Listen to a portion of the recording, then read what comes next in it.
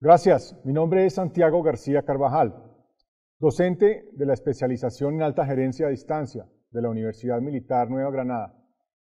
Quiero agradecer al Global Institute for Business and Finance eh, por permitirme presentar a mis colegas y participantes y asistentes al Congreso en Costa Rica mm, mi participación en mi ponencia eh, titulada La identificación de recursos estratégicos orientados al sostenimiento de una empresa familiar en Bogotá, una simulación del comportamiento social y empresarial del sujeto. Voy a iniciar presentando la metodología y presentando algo del marco teórico del proyecto de investigación que estoy sometiendo ante ustedes.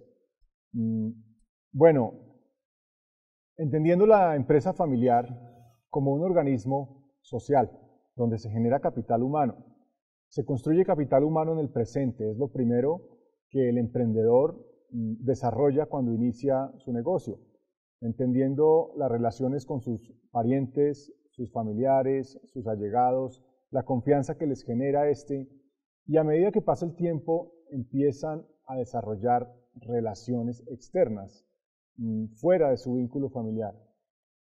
Entonces se crea capital estructural y en el futuro, a un futuro, se desarrolle capital relacional. El capital relacional sería como esa capacidad que ya tiene el empresario de relacionarse con sus gremios, con sus proveedores, con sus clientes, con generar vínculos sociales, comerciales, mm, por fuera del, por fuera del, entorno familiar y eso hace que el negocio eh, tenga mayor propensidad a sostenerse en el futuro. Entonces es un es un comportamiento desarrollado alrededor de capital intelectual. En la medida que se forme capital intelectual, habrá mejor desempeño. Esa es la teoría o el marco teórico basado sobre el cual se desarrolla el estudio. En cuanto a la metodología, ¿cómo se desarrolló en el estudio? Existen unos indicadores anticipados y unos indicadores retrasados, con los cuales podemos formular hipótesis estratégicas. Los indicadores anticipados tendrían que ver con, aquellos, con aquellas relaciones, digamos, orientadas a la, generación de capital relacional, cómo ese capital relacional, es decir, ese que se da en el futuro, cómo ese capital relacional nos, eh, muestra el camino para un emprendimiento sostenible en el tiempo. Y los indicadores retrasados, pues obviamente es el capital humano, lo que se estaría dando en el presente. Si identificamos la brecha entre esos dos, podríamos formular, un, la propuesta es formular una estructura o un sistema de información, de toma de decisiones o de información de mercados que nos permita encontrar el camino para cerrar la brecha a través de capital estructural. Ahí podríamos contrastar unas hipótesis, formular unas hipótesis inductivas y unas hipótesis competitivas. Quiere decir cómo el investigador cuestiona sus hipótesis iniciales, lo que primero, mm, lo que primero le surge, mm, tratar de cuestionar sus propias ideas, es lo que busca interpretar o incorporar el concepto de la complejidad en la investigación, para formular como conclusión una hipótesis dominante. Si miramos esos indicadores anticipados de los que he hablado, pues vemos que este es el ideal, es decir, vemos que aquí se está mostrando una tendencia, una brecha clara eh, a cerrar, porque estamos mostrando que el indicador eh, de capital relacional frente al crecimiento en las ventas, a los márgenes de utilidad mm, y al crecimiento en la participación de mercados muestra que hay una tendencia, en la medida en que el negocio progresa o avanza en el tiempo, existe mayor, ¿cierto? mayor desempeño.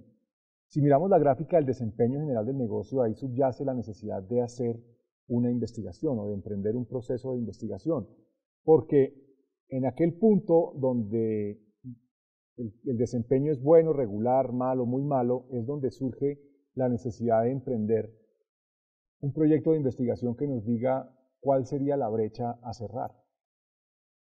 Entonces sometemos a prueba de hipótesis, como lo dije, de hipótesis, mm, pruebas de ANOVA, comparaciones de medias, y buscamos también indicadores retrasados. Los comparamos contra aquellos indicadores retrasados donde claramente no está demasiado abierto, una varianza demasiado grande, no se ve una tendencia clara entre el capital humano y el desempeño, porque aún se está formando relacionalmente el negocio, aún se está formando ese capital humano. Entonces no hay una competencia clara orientada al desempeño y es lo que se, es lo, es lo que subyace dentro de la investigación. Ahí surge la pregunta de investigación, es la brecha a cerrar a través de un capital estructural. ¿Cómo lo podemos crear? Entonces volvemos a contrastar nuevamente aquellas pruebas de hipótesis y encontramos que obviamente aquellos que tienen mayor capital relacional tienen la tendencia a rechazar las hipótesis nulas de que son independientes, el crecimiento en las ventas y los indicadores anticipados, crecimiento en las ventas, márgenes de utilidad y desempeño general del negocio. Entonces nos permite formular una hipótesis eh, estratégica. El empresario de mayor estructura de redes familiares, capacidad de asumir riesgos, que comparte información con personas allegadas y tiene actitud competitiva, desarrolla mayor capital relacional. Esto se traduce en el sostenimiento de la empresa en el largo plazo gracias al logro de mejores indicadores generales de desempeño. ¿Qué quiere decir mucho de esto? Si yo hiciera una prueba de conglomerados. Una prueba de conglomerados es una prueba de distancias entre aquellas respuestas que arroja el empresario y quisiera identificar, digamos, cuál es la identidad social que tienen esos empresarios, qué identidad social presentan. Identidad social fuerte, identidad social débil, una identidad social interna, o sea, familiar, fuerte, o una identidad social externa, o sea, fuerte. Quisiera identificar cuáles son aquellos comportamientos sociales que tiene el emprendedor dentro de un análisis de conglomerados. Y nos damos cuenta que si cruzamos esos, esas identidades sociales que surgen contra eh, los años de operación del negocio, cuántos años lleva el negocio operando, digamos, desde cero hasta los 10 años, y aquellos que pasan la barrera de los 10 años, vemos que se sostienen dos de ellos. Hay uno que no, y es el de la identidad social débil. Me llaman la atención esos dos últimos, pues, es decir, aquellos que tienen una identidad social familiar fuerte y aquellos que tienen una identidad social externa fuerte. ¿Por qué? Superan, parece, parecen sostenerse dentro de la barrera de los años en, el tiempo, o sea, el factor tiempo mm, los, los favorece. Esos son los dos nodos de salida que yo tomo para el análisis o para la construcción del capital estructural y nos permite formular una hipótesis inductiva que dice la identidad social externa es independiente de la etapa del ciclo de vida en la que se encuentre el empresario. Sin embargo, las redes sociales personales y familiares contribuyen a la creación de identidad social externa y contribuyen al sostenimiento del negocio en el largo plazo. Bueno, esas dos identidades sociales que surgieron que se sostuvieron a lo largo del tiempo son las que yo utilizo dentro de un algoritmo eh, de redes neuronales. Y aquí es donde buscamos afrontar un poco la pregunta de investigación. ¿Podría la inteligencia artificial eventualmente ayudarnos a construir un sistema soporte de decisiones? ¿Podría ayudarnos a construir un sistema de información de mercados que nos ayude a entender o a interpretar, como lo dice el título, a simular el comportamiento social del emprendedor familiar para saber cuál es ese comportamiento social que nos ayuda a construir una identidad social fuerte o una identidad social que nos permita superar la barrera del emprendimiento, la creación de ese capital humano hasta llegar a ese capital relacional. O sea, esa brecha es la que queremos cerrar a través de un, digamos, de un dispositivo tecnológico. En este caso, pues podríamos analizarlo alrededor de una red neuronal. Y ese es básicamente el proyecto. lo que está dentro de este perceptrón que estamos visualizando son todas las preguntas que están mezcladas desde capital humano, capital estructural y capital relacional, y todas ellas orientadas a desarrollar esos nodos de salida. ¿Cómo se forma alrededor de todas aquellas preguntas que tuvo el cuestionario la identidad social familiar fuerte y la identidad social externa fuerte? Entonces quisiéramos saber qué arroja. ¿Qué arroja esa red neuronal? ¿Será que podemos simular algo? Aquí nos permite formular una hipótesis competitiva que dice, el potencial de crecimiento del negocio es mucho mayor para el empresario con identidad social fuerte, a pesar de este tener menor influencia e importancia en la etapa de startup, en el negocio familiar.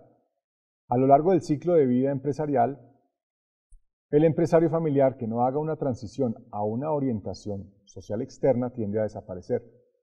Es lo que nos muestra el resultado de cruzar mm, los conglomerados que acabamos de construir contra mm, el ciclo de vida del negocio o los años de operación del negocio. Y ahora miremos el resultado de la, de la simulación con la red neuronal. Es la que nos interesaría mirar qué puede predecir o que a qué comportamiento social se puede predecir alrededor de desarrollar este sistema alrededor de mm, de los resultados de la simulación y vemos cómo funciona. Yo entreno un porcentaje de los datos y hago pruebas con otro porcentaje de los datos. En este caso, con el 41.8% de los datos, yo hago un entrenamiento de los datos y hago pruebas con el 37.7% de los datos y dejo un restante como reserva. Si vemos en la gráfica de medias, los dos clústeres tienden a diferenciarse en el tiempo. ¿Qué quiere decir esto? El clúster de identidad familiar fuerte es, o sea, prevalece al principio, es más fuerte. Yo necesito una mayor cantidad de datos para predecir una menor cantidad de ellos en el futuro. ¿Qué quiere decir esto? Que esa media disminuye, que tiende, que tiene una tendencia a decaer, porque necesito una mayor cantidad de datos para predecir una menor cantidad de ellos en el futuro. Mientras que en, la gráfica, en, las medias eh, de la gráfica verde, que son las de identidad social externa fuerte, necesito una menor cantidad de datos para predecir una mejor cantidad de datos en el futuro. Quiere decir que la tendencia está a que el, empresario de identidad social externa fuerte, o sea, aquel que tiene una orientación hacia el mercado, tiene una, digamos, una probabilidad de sostenerse en el tiempo. Entonces, eso sí nos lleva a la hipótesis dominante, que es con la que esperamos concluir ya este estudio. Y esta, esta hipótesis dominante subyace gracias a el análisis de las preguntas mismas que contienen la creación del conglomerado de identidad social fuerte, porque es el que mejor predice el comportamiento social del emprendedor familiar hacia el futuro. El que mejor transición hace de capital humano a capital relacional, o sea, es con, con quienes mejor capital estructural yo puedo crear. Y dice, el potencial de crecimiento del negocio es mucho mayor para el empresario con identidad social fuerte. Esta identidad se forja desde adentro con la gestión de conocimiento y la confianza entre congéneres y empleados con vínculo externo compartiendo la información, pero estableciendo vínculos definidos y diferenciados entre los temas familiares y los temas empresariales.